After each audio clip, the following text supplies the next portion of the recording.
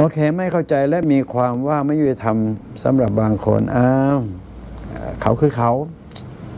เราคือเรา เขาไม่เข้าใจก็ไม่เป็นไร เราเข้าใจ เราพยายามเอาความเข้าใจของเรา ให้เขาฟังกันต่อนะต้องคิดอย่างนั้นทำไงจะให้เขาเข้าใจ อย่างที่เราเข้าใจ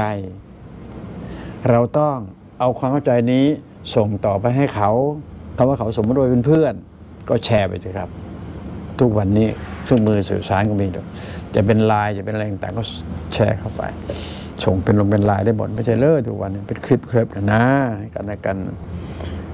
ให้คลิปเคลิปเป็นส่งเป็นลงเป็นไลน์แล้วก็ว่ากันไปใช่ไหมล่ะเออ